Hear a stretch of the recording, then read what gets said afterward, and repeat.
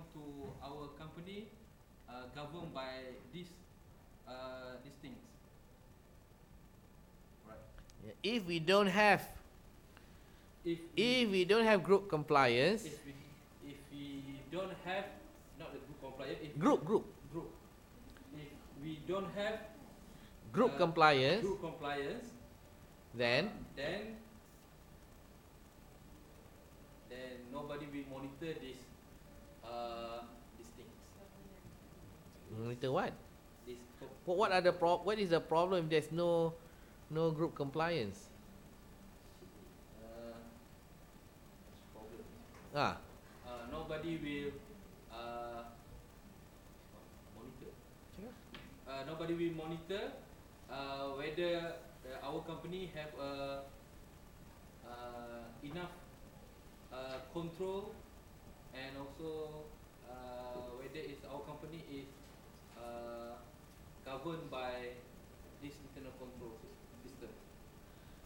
we may come into problems such as We may come to Into problem? in, we, we may come into problems such as fraud cases, fraud cases, uh, no compliance activities, non-compliance activities, okay? uh,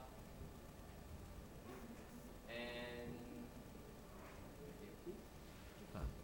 and and may increase in Which risk- may increase which may increase in risk management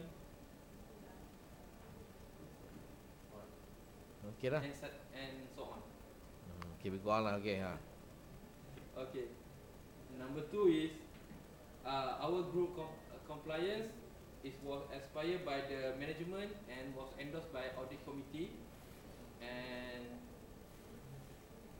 Okay. and also uh, group compliance uh, report, Group, group kan good. Group.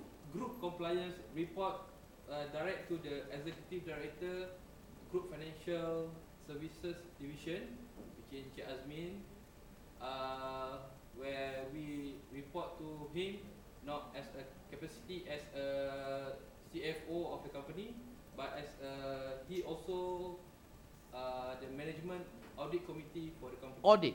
Audit committee for the company This means this means that this means that group compliance group compliance is an important and critical activity to the group.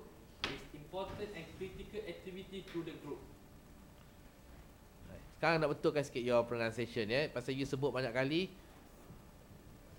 To go previous slide. It's not compliance, it is. Compliance. Comply bukan compliance ya. Kata group compliance. Group compliance. Okay, next. Okay. Next. Uh, our objectivity is to provide a better understanding of the relation of the relationship between the business objective, control environment, and operational risk to achieve those ob- objective. The next, our the next is our objective to educate employees to analyze, evaluate, and report on the effectiveness of the control mechanisms. Mhm. And the last objective is to advise and monitor compliance Compliance. compliance to establish pro- policies and procedures. Alright.